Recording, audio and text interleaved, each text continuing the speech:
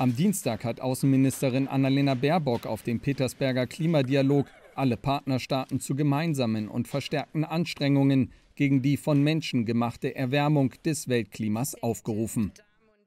Es ging vor allen Dingen darum, wie wir die wichtige Ambitionssteigerung, die wir dringend, dringend äh, brauchen, weil wir sind nicht auf dem 1,5 Grad, also die nationalen Klimaanstrengungen anzuheben, wie wir das in Verbindung bringen können mit der wichtigen Frage der Finanzierung, während gerade sehr, sehr viele Staaten weltweit, eigentlich alle Staaten weltweit, mit Blick auf die Finanzen, mit Blick auf die Inflation, die Wirtschaftslage in ihrem Land vor wahnsinnig großen Herausforderungen äh, stehen.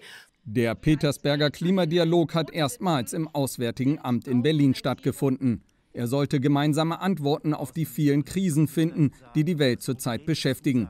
Im Fokus der Gespräche stand vor allem die Vorbereitung der Weltklimakonferenz COP27 in Ägypten.